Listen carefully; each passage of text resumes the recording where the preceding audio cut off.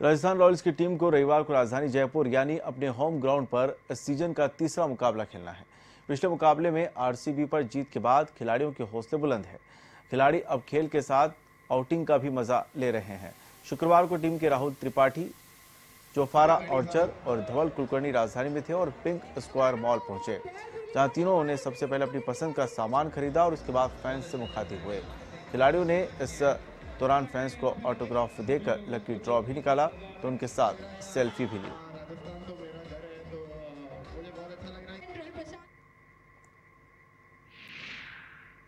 Royals के खिलाड़ी central ने इनवाइट किया था उनको through Alcis brand Alcis brand के थ्रू और उनको शॉपिंग करना था। सेंट्रल से they have chosen the shopping destination in Jaipur Central only and उनका favourite brand this Alcis they wanted to buy product for practice practising and for wearing for sports purpose really तो they have chosen only Central हाँ.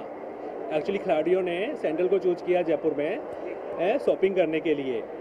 और sports wear product उन्होंने Central से ख़रीदे. उन्होंने काफ़ी हर player ने आराम से पाँच से दस हज़ार के बीच का शॉपिंग किया. है